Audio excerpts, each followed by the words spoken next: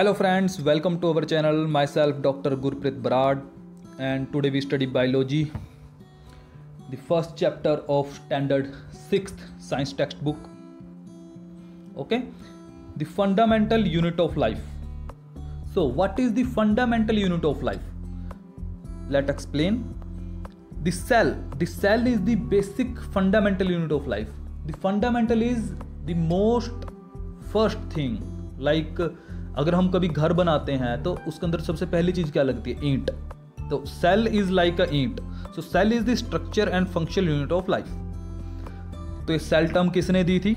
Robert Hooke ने ये cell term दी थी इन 1865 उसके हिसाब से सेल एक छोटे रूम की तरह होते हैं। सेल उसने एक डेड कॉर्क स्लाइज में उसने सेल देखे थे। डेड कॉर्क स्लाइज कॉर्क क्या चीज़ है?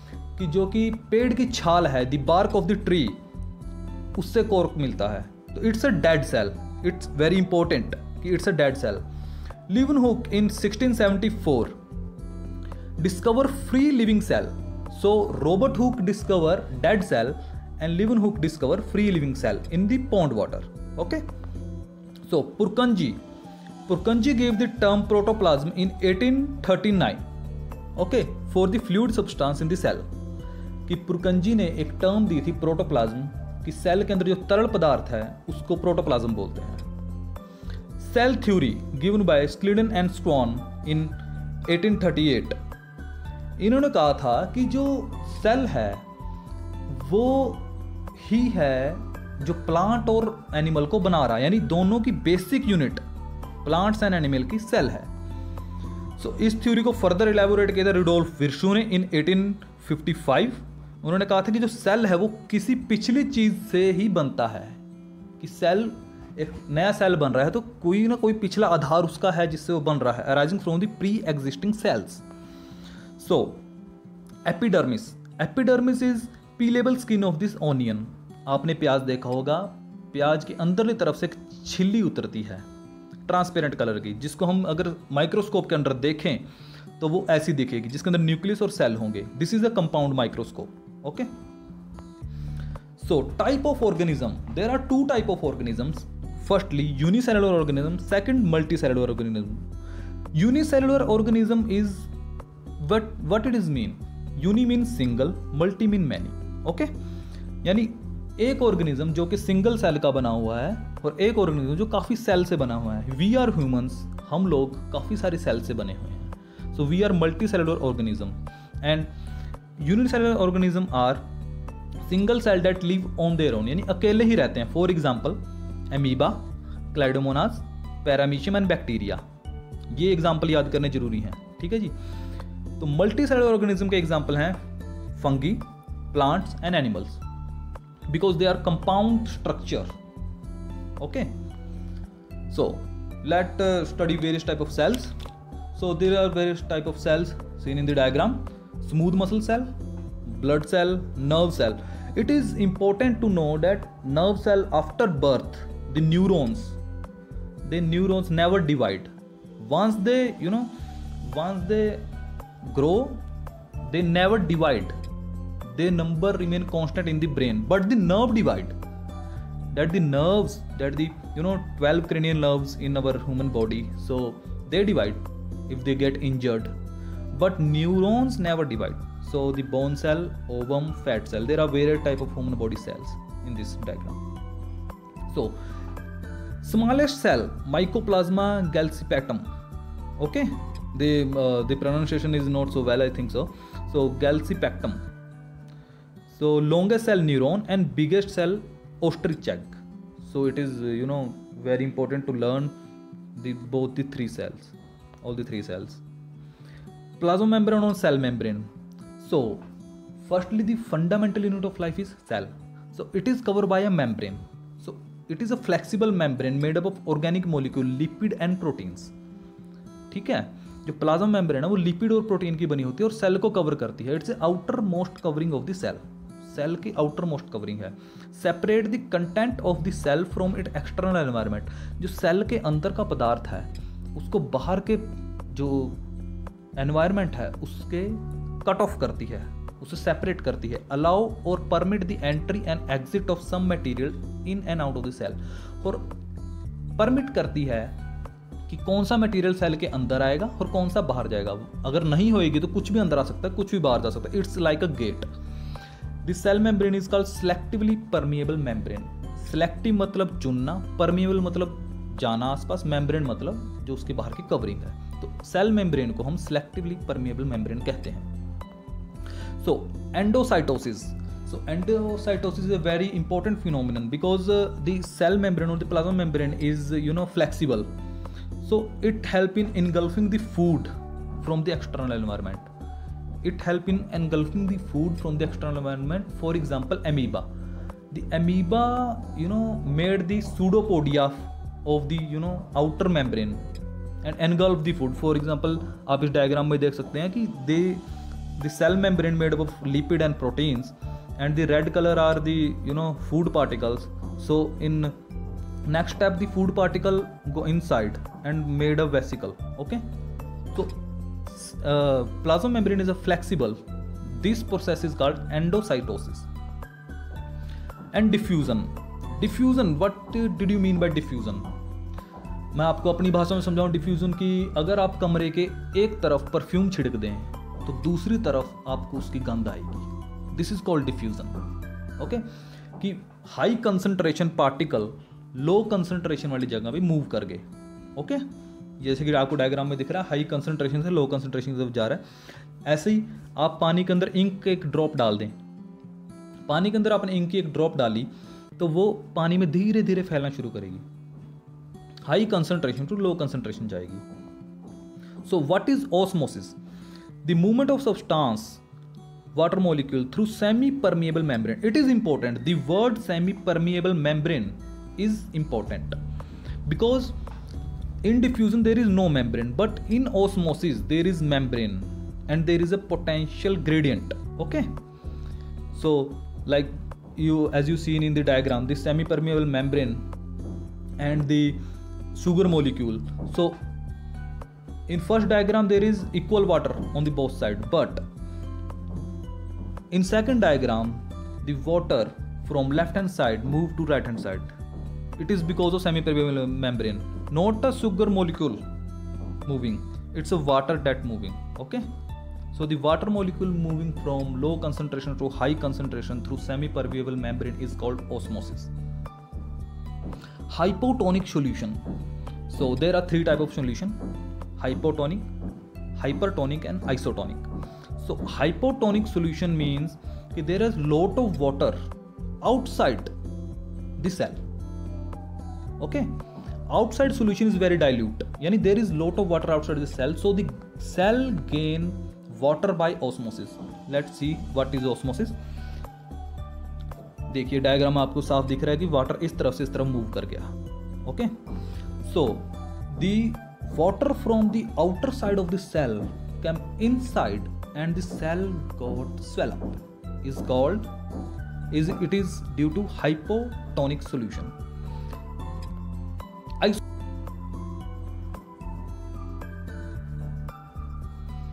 हाँ जी सो द आइसोटोनिक सोल्यूशन कि जी जो वाटर है जितना अमाउंट ऑफ़ वाटर अंदर आएगा, उतना ही बाहर जाएगा।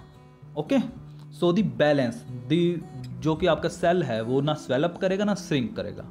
Okay so So, the amount of water transported into the equal to the amount of water transported out from the cell जैसे कि मैंने बताया, जितनी अमाउंट ऑफ़ वाटर अंदर आएगी, उतनी ही बाहर जाएगी। Solute concentration inside the cell is equal to the solution outside the cell जितना अंदर सोल्यूट होगा, उतना ही बाहर सोल्यूशन होगा।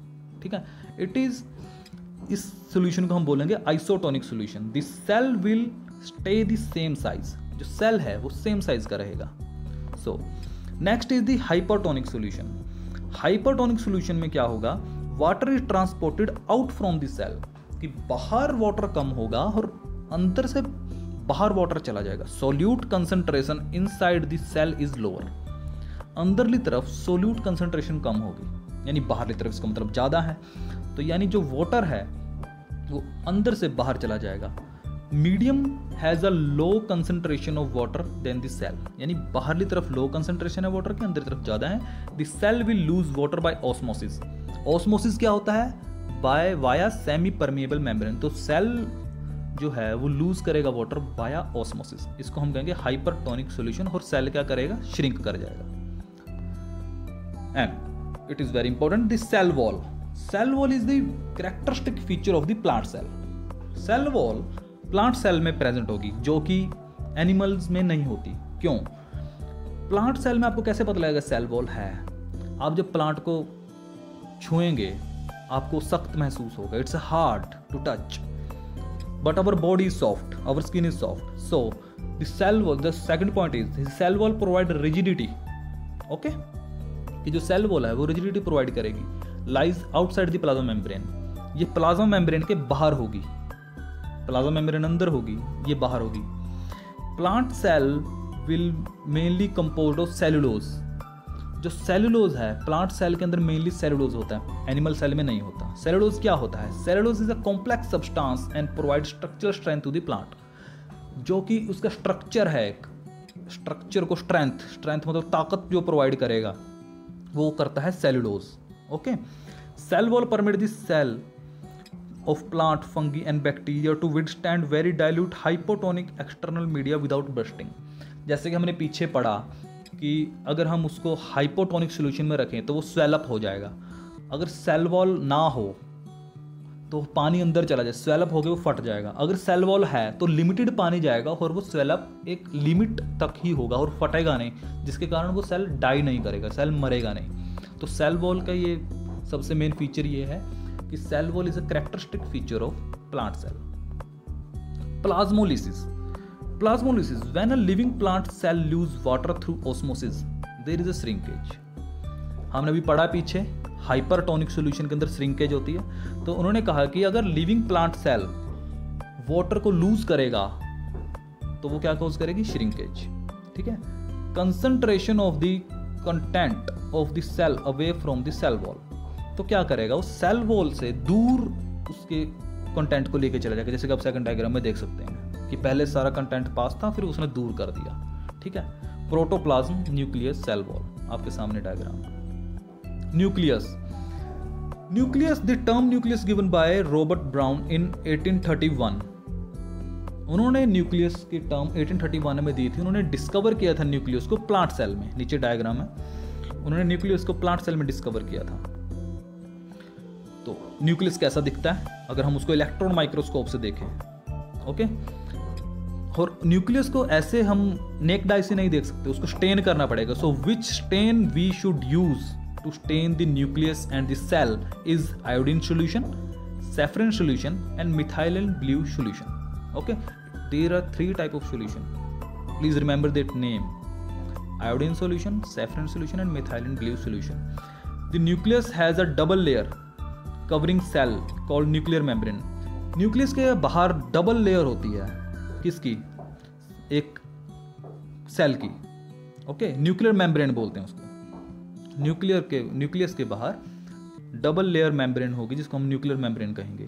The nuclear membrane has pores which allow transfer of material from inside the nucleus to outside the cytoplasm अब जो nucleus है, उसकी लेयर पोरस होगी, जो कि इनसाइड ऑफ़ द न्यूक्लियस से आउटसाइड ऑफ़ साइटोप्लाज्म ट्रांसफ़र करेगी मटेरियल को okay the nucleus contain chromosome nucleus के अंदर क्रोमोजोम होंगे, जैसे कि आपके एक्स शेप नीचे बने हुए हैं chromosomes which are visible as rod shape rods हैं, दो रोड्स जैसे एक्स की उसमें रखी हुई हैं. Structure only when the cell is about to divide nucleus में क्रोमोजोम तब आपको मिलेंगे जब सेल डिवाइड होने के कगार पे होगा। ये सेल डिवीज़न हम एंड में पढ़ेंगे कि सेल कैसे डिवाइड होता है। पर अभी तक यही ठीक है कि न्यूक्लियस में क्रोमोजोम तब दिखेंगे जब वो उसको डिवाइड होना है। Chromosome are compose of DNA and protein chromosome के अंदर डीएनए होता है और प्रोटीन। डीएनए क्या होता है? डीएनए होता है जिसके अंदर आपकी सारी सेल की इंफॉर्मेशन होगी। कि अगर डीएनए निकाल के दूसरे सेल में डाल दें तो वो सेल जीवित हो जाएगा और सेम इंफॉर्मेशन कॉपी हो जाएगी। Okay chromosome contain information for for inheritance of characters from parent to next generation in form of DNA deoxyribonucleic acid molecule कि क्रोमोजोम इनहेरिट करेगा, यानी आगे पास ऑन करेगा इन्फॉर्मेशन को डीएनए की फॉर्म में। ठीक है? नेक्स्ट जनरेशन में। जैसे कि हमारे पेरेंट्स से हमारे अंदर एक एक डीएनए आया है तो वो मिल के हम उनके, कई बार होता है ना कि लड़के की शक्ल डैडी से मिल रही है, मम्मी से मिल रही है क्यों है? क्योंकि उनकी जो इन्फॉर्मेशन है, उनकी जो बेसिक इन्फॉर्मेशन है, वो हमारे अंदर आ गई। ओके सोच की बात नहीं कर रहा। बात कर रहा हूँ स्ट्रक्चर की। फेशियल अपीरेंस कईयों को चलने का स्टाइल बहुत कुछ होता है, ठीक है? तो जो डीएनए है, उसके अंदर ये सारी इन्फॉर्मेशन होती है। Functional segment of DNA are called gene और जो डीएनए के सेगमेंट काम करती है, उसको हम जीन बोलते हैं okay in a cell which is not dividing this DNA is present as a part of chromatin material जो कि सेल डिवाइड नहीं हो रहा, ये डीएनए क्रोमेटिन मटेरियल का पार्ट बन के रहेगा, ठीक है? जब डिवाइड होना होगा तो वो डीएनए क्रोमोजोम बन के डिवाइड होगा ठीक है?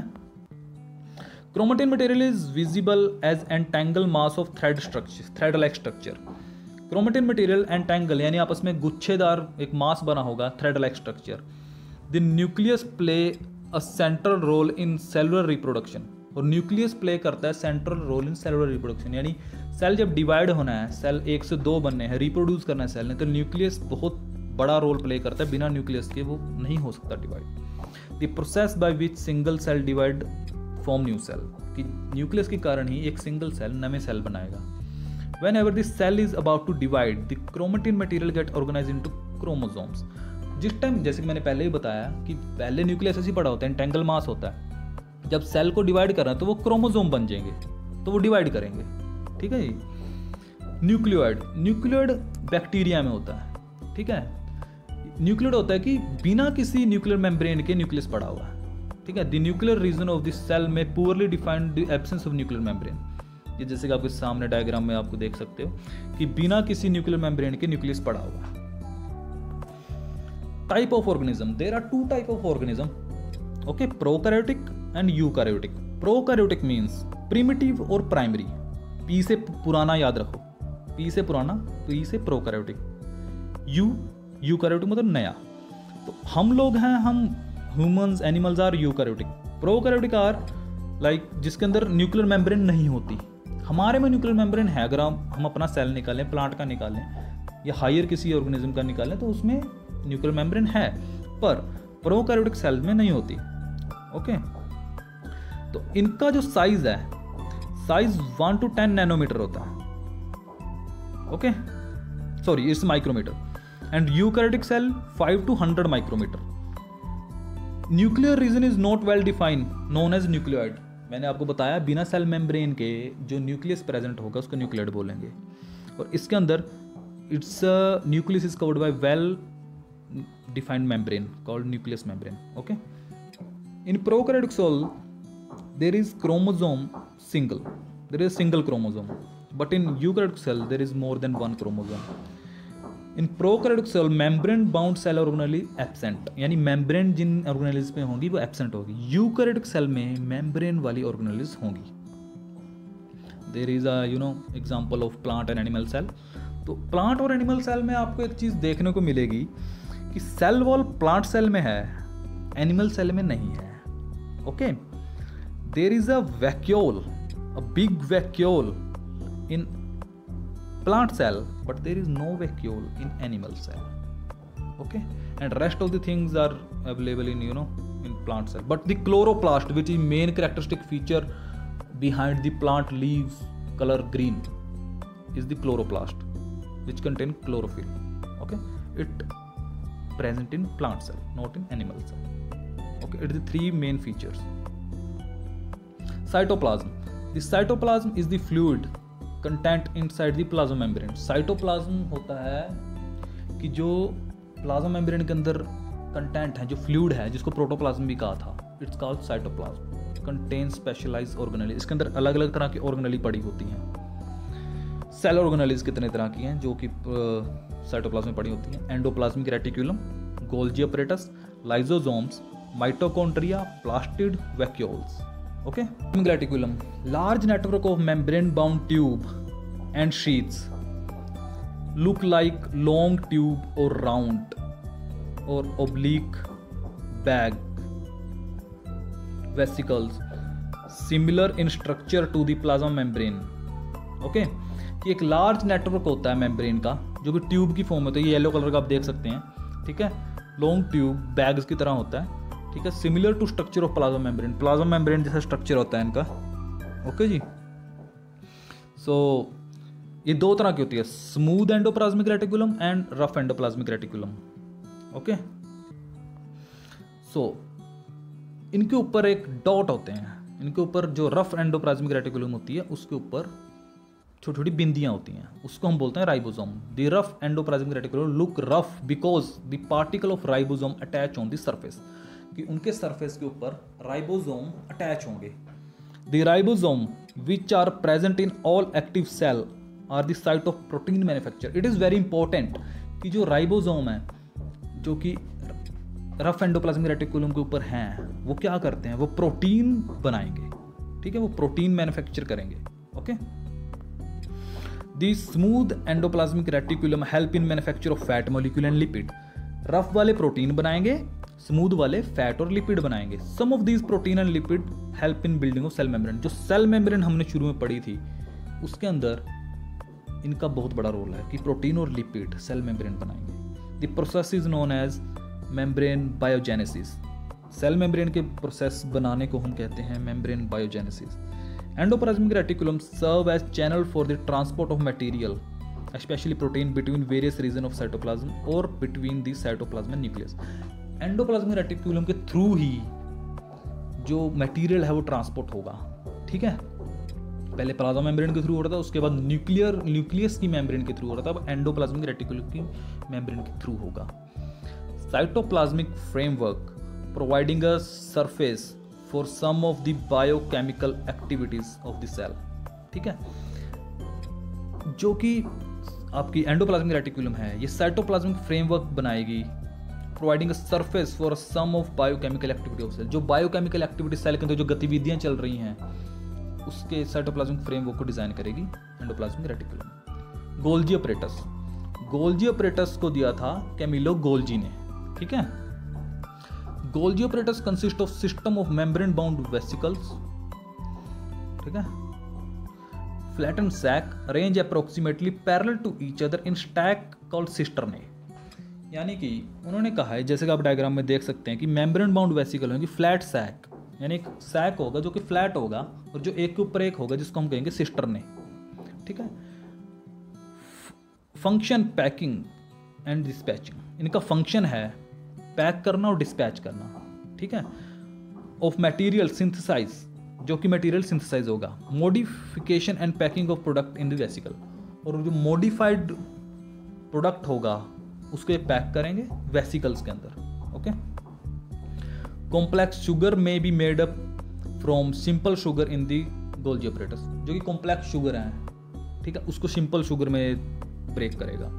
The Golgi apparatus is also involve in formation of lysosome ठीक है? गोल्जी ऑपरेटर्स को हम लाइजोजोम की फॉर्मेशन में भी हेल्प करता है, ठीक है? जो लाइजोजोम है, हम आगे पढ़ेंगे कि गोल्जी ऑपरेटस लाइजोजोम की फॉर्मेशन में हेल्प करता है। लो lysosome membrane bound sac fill with digestive enzyme यानी कि एक सैक होता है, जिसके अंदर डाइजेस्टिव एंजाइम होता है। ये किससे बनते हैं लाइजोजोम ये बनते हैं रफ एंडोप्लाज्मिक रेटिकुलम से। इसके अंदर क्या होता है? Waste disposal system of the cell है ये। कि जो कि कचरा कूड़ा करकट सेल में है, ये उसको डिस्पोज ऑफ़ करता है। Help to keep the cell clean by digesting any foreign material as well as worn out cell organelles यानी कि जो कि फॉरन मटेरियल आ गया या कोई सेल इंजर्ड हो गया या सेल के अंदर कोई कचरा है, उसको तोड़ता है, ठीक है? उसको ख़त्म करता है। Breaking complex substance into simpler substance यानी कॉम्प्लेक्स सब्सटेंस के सिंपल सब्सटेंस में तोड़ देगा। इसके अंदर एक पावरफुल डाइजेस्टिव एंजाइम होता है, जिसको हम कहते हैं hydrolytic enzyme okay lysosome burst and the enzyme digest their own cell ठीक है? इसको हम कहेंगे सुसाइडल बैग नीचे डायग्राम में हम देखिए कि अंदर हाइड्रोलिटिक एंजाइम है कि जहाँ इसको लगा सेल में खतरा है, इसने ब्रस्ट कर जाना है और ये पूरे सेल को मार देगा। So it is called suicidal bag ये सुसाइड कर लेता है। Mitochondria mitochondria is called power house of the cell यानी कि जहाँ से पूरी ताकत आ रही है, जिससे कि दम पे पूरा सेल चल रहा है। इसके अंदर दो लेयर होती हैं। The two membrane covering in the mitochondria outer membrane is porous बाहरली वाली में थोड़े छिद्र होंगे while the inner membrane is deeply folded और अंदर वाली मेम्ब्रेन काफ़ी डीपली फोल्डेड होगी, जैसे कि आप डायग्राम में देख सकते हैं। Fold increase surface area for ATP generating chemical reaction कि what is ATP ATP is adenosine triphosphate adenosine triphosphate is energy currency of the cell जैसे हमारे पास अपनी मनी है रूपी तो हमारी करेंसी हम कहीं भी जाके खर्च सकते हैं। तो बॉडी की करेंसी है एटीपी एडेनोसिन ट्राइफोस्फेट तो उन्होंने कहा है कि जो fold increase the surface area for ATP generating chemical reaction की एटीपी जो बनाना है, जो कि फोल्ड है, वो सरफेस एरिया इंक्रीज करेंगे कि एटीपी ज़्यादा बने। सबसे मेन पॉइंट है कि माइटोकॉन्ड्रिया के पास खुद का डीएनए और राइबोसोम होता है। यानी खुद का ही जेनेटिक मटेरियल और खुद के ही प्रोटीन होते हैं माइटोकॉन्ड्रिया के पास। Mitochondria able to make some of their own protein जैसे कि इन्होंने लिखा है कि माइटोकॉन्ड्रिया खुद के प्रोटीन बना सकता है। कैसे? क्योंकि उसके पास खुद का राइबोसोम्स हैं। Plastid present only in plant cell क्योंकि जो प्लास्टिड है, वो सिर्फ़ प्लांट सेल में प्रेजेंट होते हैं। Plastid are of two types chromoplast and leucoplast chromoplast colour plastid जो कि कलर देते हैं। ल्यूकोप्लास्ट व्हाइट और कलरलेस प्लास्टिड ठीक है? Chromoplast contain the pigment chlorophyll are known as chloroplast कि जो क्रोमोप्लास्ट है, उसके अंदर एक पिगमेंट होता है क्लोरोफिल जिसके कारण वो, हम उसको कहते हैं क्लोरोप्लास्ट जो कि ग्रीन कलर देता है प्लांट्स को। ठीक है? Chloroplast are important for photosynthesis in plant आप सबको पता है कि प्लांट फोटोसिंथेसिस करते हैं। फोटोसिंथेसिस का मतलब है कि खुद का खाना खुद ही बनाना। तो प्लांट जो है, वो अपना खाना खुद बनाते हैं। एनिमल्स नहीं बना सकते। एनिमल स्टोर स्टोर करते हैं in the form of fat पर प्लांट बनाते हैं। Okay so chloroplast are the important for photo photosynthesis in plant Leucoplasts are primarily organelle in which materials such as starch, oils and protein granules are stored. Leucoplast जो कि उन्होंने कहा था white और colourless plastid होता है इसके अंदर उन्होंने कहा कि fat sorry starch oil and protein ये स्टोर होंगे ल्यूकोप्लास्ट के अंदर ओके आप नीचे डायग्राम देख सकते हैं। ये ग्रीन कलर के बिल्कुल, यानी लैमिना स्ट्रोमा अब स्ट्रोमा हम आगे पढ़ेंगे अभी। Stroma the internal organisation of the chloroplast consist of numerous membrane layer embedded in the material ठीक है? उन्होंने कहा कि जो स्ट्रोमा है, वो एक के ऊपर एक जो रखे गए हैं। Chlorophyll material chloroplast contain numerous membrane layer embedded in a material कि chloroplast consist of numerous membrane यानी क्लोरोप्लास्ट को काफ़ी सारे मेम्ब्रेन हैं जो कि एम्बेडेड जिसके अंदर मटेरियल भी है उसको हम कहेंगे stroma these are similar to mitochondria in external structure okay ये माइटोकॉन्ड्रिया की तरह होते हैं। Like the mitochondria plastid have their own DNA ribosome दो ऑर्गेनली के पास अपना डीएनए और राइबोसोम है, पहला माइटोकॉन्ड्रिया दूसरा प्लास्टिड थर्ड अपना है vacuole vacuole are store sac for solid और लिक्विड कंटेन अब प्लांट्स हैं, रोज़ तो खाना नहीं बना रहा, रोज़ तो सनलाइट नहीं आ रही। तो स्टोर भी तो करेंगे खाना। कई बार बार बारिश होती है या धूप नहीं निकलती सर्दियों में। तो वैक्यूल के अंदर वो अपना खाना स्टोर करते हैं। Vacuole are small in size in animals animals में स्मॉल साइज़ के होते हैं, पर प्लांट में लार्ज बड़े साइज़ के होते हैं। Okay central vacuole of some plant cell में occupy 50 to 90 percent of the cell volume यानी एक वैक्यूल जो कि मैंने आपको पहले प्लांट सेल में दिखाया था, कि बहुत बड़ा होता है। प्लांट सेल का वैक्यूल बहुत बड़ा होता है, क्योंकि तो स्टोरेज करनी है फ़ूड की। Vacuole are full of cell sap and provide turgidity and rigidity to this cell यानी उसको सख्त करके रखता है टर्जिड करके रखता है रिजिड बना के रखता है सेल को।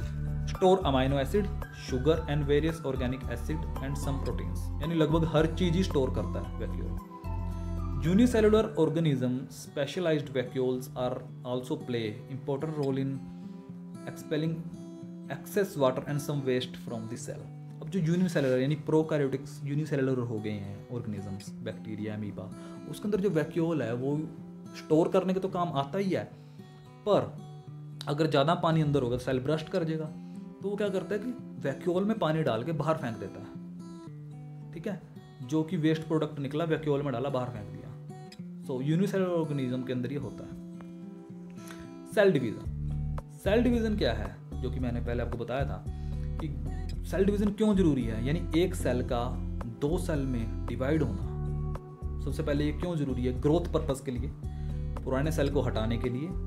इंजर्ड सेल को ठीक करने के लिए। अगर चोट लग जाए तो उसको ठीक करने के लिए पुराना कोई सेल पुराना हो गया तो उसको हटा देते हैं। और ग्रोथ कि हम छोटे थे, हम बड़े भी तो हो गए ना तो इसके लिए भी ज़रूरी है। और सबसे main gamete require for reproduction और जो कि रिप्रोडक्शन है, कि give birth to young one offspring so उसके लिए सेल डिवीज़न ज़रूरी है। दो तरह की डिवीज़न होती है mitosis and meiosis it is very important कि माइटोसिस जो कि जर्नल पूरी बॉडी में चल रही है, पर मियोसिस सिर्फ़ एक जगह पे चलती है, वो है आपके गोनेड्स ओके माइटोसिस माइटोसिस के अंदर एक सेल से दो सेल बनेंगे और equal number of genetic material जाएगा ओके पर इन मियोसिस एक सेल से चार सेल बनेंगे ओके और मटेरियल जाएगा हाफ़ ये हम अगले चैप्टर में अच्छी तरह पढ़ेंगे okay so meiosis mitosis mitosis में most of the cell divide for growth mitosis का मतलब है कि लगभग बॉडी के पूरे सेल की माइटोसिस कर ही रहे हैं। पर मियोसिस कौन करता है? New cell have only have half the number of chromosome ये मैंने आपको बताया कि आधा जेनेटिक मटेरियल जाएगा, और वो हम अगले चैप्टर में पढ़ेंगे। Specific cell of reproductive organs और tissue in animals and plant divide to form gametes okay कि मियोसिस होती है उस जगह पे जहाँ पे गैमेट बनने हैं. For example testicle and ovaries testis and ovaries gonads male gonads and female gonads so hope you enjoy so love you all have a nice day thank you very much